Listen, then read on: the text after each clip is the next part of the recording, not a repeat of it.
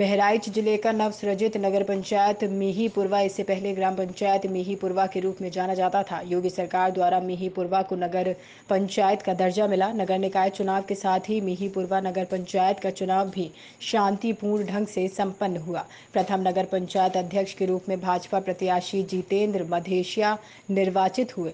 नगर पंचायत के अस्तित्व में आते ही नगर की सफ़ाई का कार्य प्रारंभ करवाया गया। उसी क्रम में आज 15 जून को बल्हा विधायक प्रतिनिधि आलोक जिंदल एवं नगर पंचायत अध्यक्ष जितेंद्र मधेशिया के नेतृत्व में एक मोटरसाइकिल जागरूकता यात्रा निकालकर नगर पंचायत क्षेत्र के लोगों को ये संदेश देने का प्रयास किया गया कि आज 15 जून से हेलमेट जोन नगर पंचायत मिहीपुरवा घोषित हो चुका है।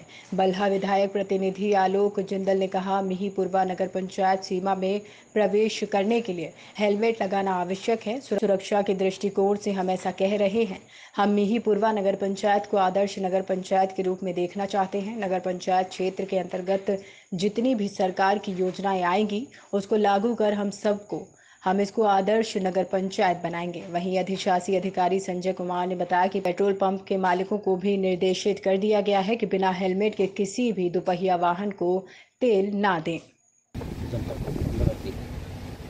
संदेश सबसे पहले तो ये देना चाह रहे हैं कि इस महपुरवा नगर पंचायत को हम आदर्श नगर पंचायत के रूप में देखना चाहते हैं और सरकार के जितने भी नियम कानून और जो भी योजनाएँ हैं, वो सारे लागू हों इस नगर पंचायत में, तभी हम इसको आदर्श नगर पंचायत घोषित कर सकते हैं। और अभी माननीय हमारे एस साहब ने बताया कि सभी जनप्रतिनिधियों का सहयोग चाहिए तो मैं आपको विश्वास दिलाता हूँ कि सभी जनप्रतिनिधि इस कार्य में सहयोग करेंगे और यहाँ की जनता भी आपका सहयोग करेगी। ऐसी हमारी अपेक्षा और विश्वास भी।